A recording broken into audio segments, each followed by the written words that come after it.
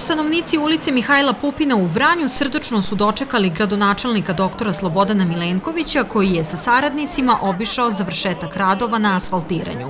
Stariji građani sa kojima smo razgovarali kažu da su na ovo čekali preko 40 godina.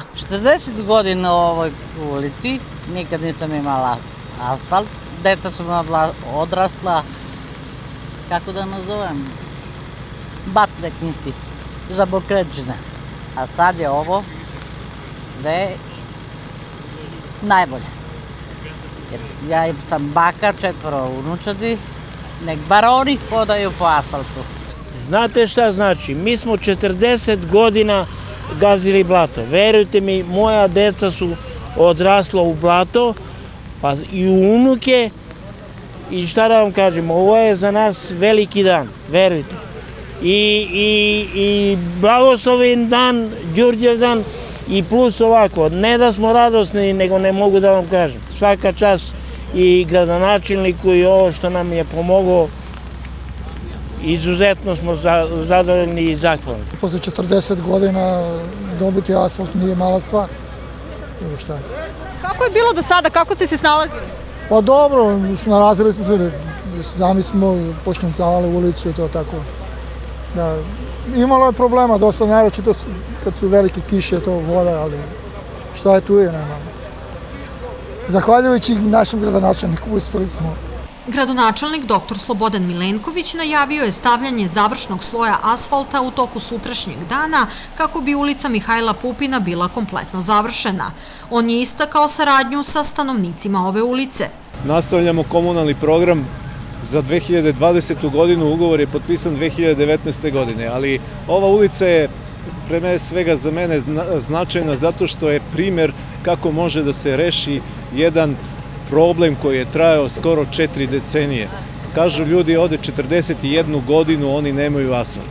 Problem je postojao imovinsko-pravne prirode, ali u saradnji sa meštanima ove ulice i našim službama mi smo rešili ovaj ogroman problem i time dali primer za sve ostale e, druge ulice. A ovde u neposrednoj blizini je i ulice Meše Selimovića koju isto tako rešavamo zajedno sa sugrađanima iz te ulice. Nadam se da ćemo uskoro rešiti i tu ulicu u potpunosti i da će i ta ulica biti asfaltirana. Zahvaljujući toj jednoj uzajemnoj saradnji mi danas ovde stojimo i konačno ljudi uživaju u ovome što sada vide, a to je konačno asfalt u ovoj ulici. Dužina je 185 metara, širine 5 metara, vrednost investicije je oko 4,5 miliona dinara bez PDV-a, tako da je to isto tako značajna investicija.